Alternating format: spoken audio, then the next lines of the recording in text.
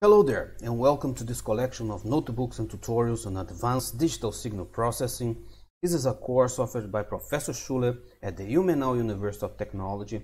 I am Renato and on this notebook we are going to talk about complex signals and systems and the Hilbert transform. Imagine we would like to know the precise instantaneous amplitude of a sinusoid. Just looking at the function this might not be so easy we would have to determine the maximum or minimum and depending on the sinusoidal frequency this might take some time during which the amplitude also might have changed. But if we have a complex exponential with samples given by this equation here, x of n is equal to a times e to the power of j omega n and then we can use some uh, trigonometry and exponential substitution and we find that this is equivalent of a times cosine of capital omega n plus j a times sine of capital omega n. And in this case, we know x of n, but we don't know a, and we like to know a. This is the amplitude. So we can easily determine the amplitude a only knowing one complex valued sample x of n by taking the magnitude of this complex exponential. So here, in this case here, we have a complex exponential. We will derive something until we have the possibility to have the amplitude of a sinusoid. So here's how we take the magnitude of this complex exponential with the real part squared times the imaginary part squared and the square root and then we replace here this is given by the real part and this is the imaginary part and this is our equation. So observe that this computation of A is independent of the time index n so it can be done at every time instance. So if we not only have the sine or cosine function in itself, but both, we can easily compute instantaneous amplitude in this way. This means instead of just having the sinusoidal function, we also have the 90 degrees phase shifted version of it to compute the amplitude. The problem is, if we only have one part, the real part, how do we get this 90 degrees phase shifted version. For example, look at the sine function.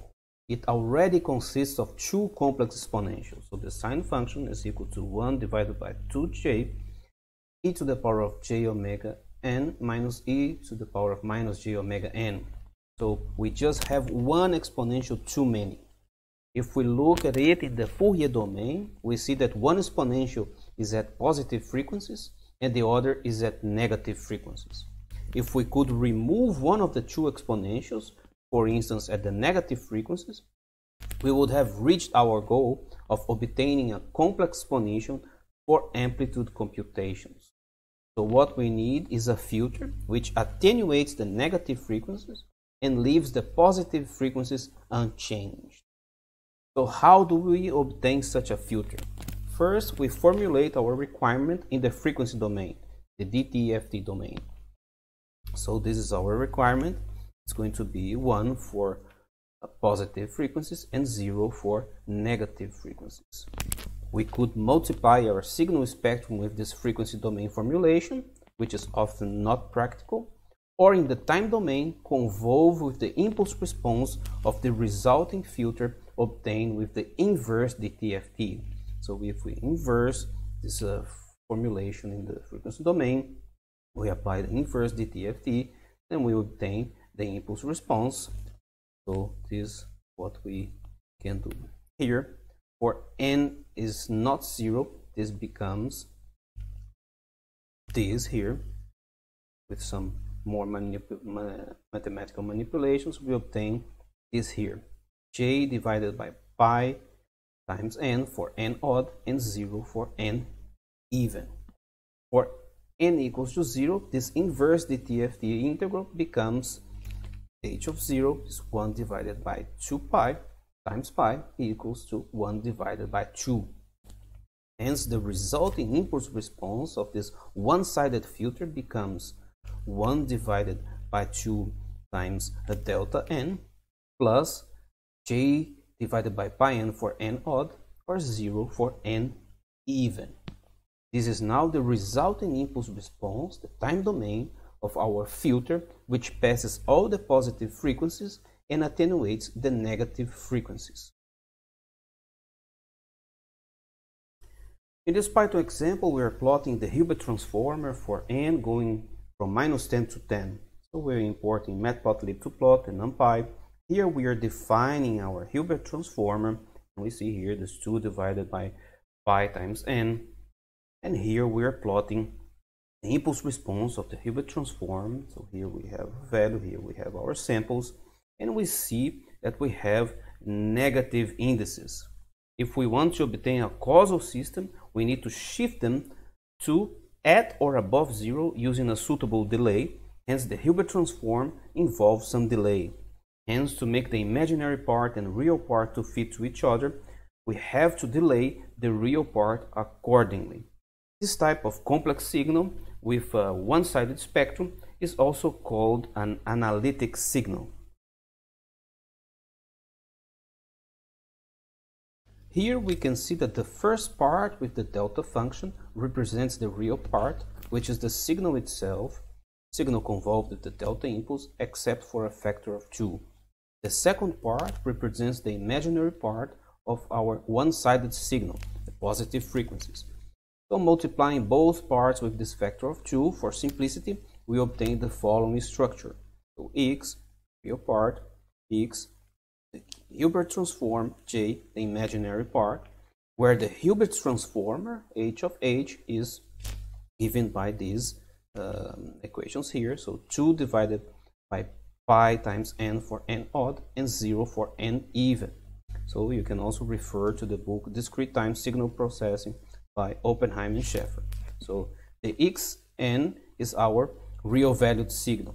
Observe that only this part which creates the imaginary signal part is the Hilbert transformer. We can use it to construct a filter that suppresses the negative frequencies. This means we take our original signal, the sinusoid, and define it as our real part. Then we take the Hilbert filtered signal, filtered with the above h of h, and define it as our imaginary part. Then both together have a one-sided positive only spectrum. That also means our Hilbert transform filter is our 90 degrees phase shifter that we were looking for. You can also imagine that if the real part is a cosine signal, then the Hilbert Let's transform the generates the J times sine part. Since we have included a delay, our phase should be our 90 degrees, pi divided by 2 right, phase shift, plus the linear phase from the delay. Hence, our phase curve should hit the phase axis at frequency 0 at pi divided by 2, for which we would like to zoom into this part. So we're uh, again using freqz from SciPy signal and uh, matplotlib to plot and numpy, and we're calling freqz. And here is our frequency response. We have the magnitude, we have the phase, and here we can see that the phase curve indeed would hit the pi divided by 2 rad 90 degree mark at the phase axis. We see that the magnitude plot only reaches at about 0 dB attenuation at about frequency 0.08 pi and reaches higher attenuations at frequencies below about 0.05 pi and above about 0.95 pi. Hence, it is only a working Hilbert transformer within this range. If we want to plot the frequency response of our entire filter, not just the Hilbert transform part, which passes only the positive frequencies, we first need to construct our resulting complex filter and then plot the frequency response on the whole frequency circle. First, we need to create the corresponding delay unit pulse as the real part.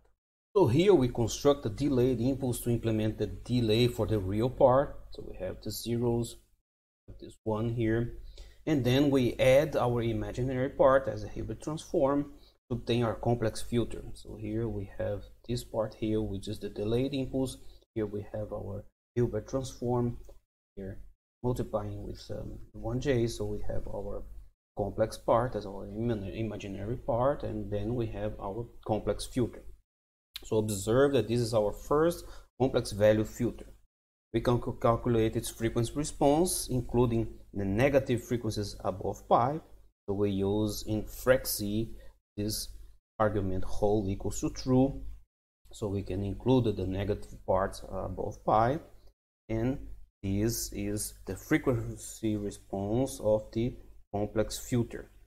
So here we can see that we have indeed a passband at the positive frequencies between 0 and pi and observe that the passband is at about 60 dB 6 dB above 0 dB because we multiplied our filter by a factor of 2 to make it simpler the negative frequencies appear between pi and 2 pi. Frequency axis and we can see that we get about minus 30 dB attenuation there which is not very much but which we could increase it by making the filter longer. This also gives us a good indication of how well our filter is working. So the python function remez also has an option for a hilbert transform filter and we get a similar design using the remez and we set the type to hilbert and the frequency transform uh, the frequency response is uh, showed here. Observe that the specified passband does not go all the way to 0 and 0.5. The further away the passband is from these edges, the less ripples we will have in the passband and the more attenuation we will have for the negative frequencies. So observe that the, this design now has a plus 90 degrees a phase shift at frequency close to zero. So this is a phase difference of 180 degrees from our previous design with the rectangular window and results from a sign change of the coefficients. So again, we can look at the um, resulting one-sided complex valued filter at the whole frequency circle again. So we have our delay for the real part, hmm, the complex filter, now it's called H1 RMS.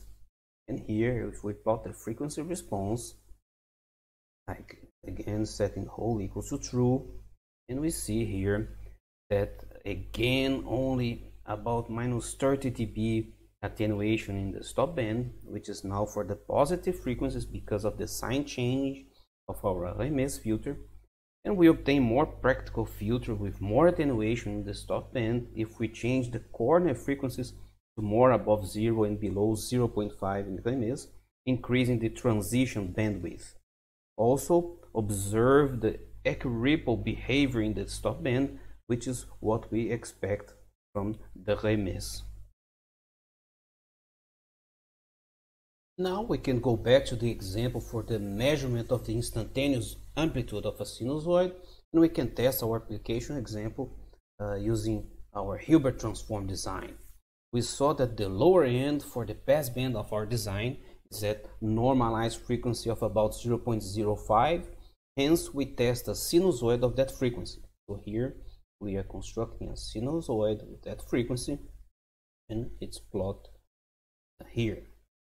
Now we can filter it uh, with our filter which passes only positive frequencies h1 and creates a complex value signal xh1 so this is we're convolving our signal with the h1 and then we're plotting the real part and the imaginary part. And here we can see that we get indeed a 90 degree phase shifted version the red curve about between sample uh, 15 and 45 now we can compute the magnitude of this complex signal xh1 to obtain the amplitude of our sinusoidal signal.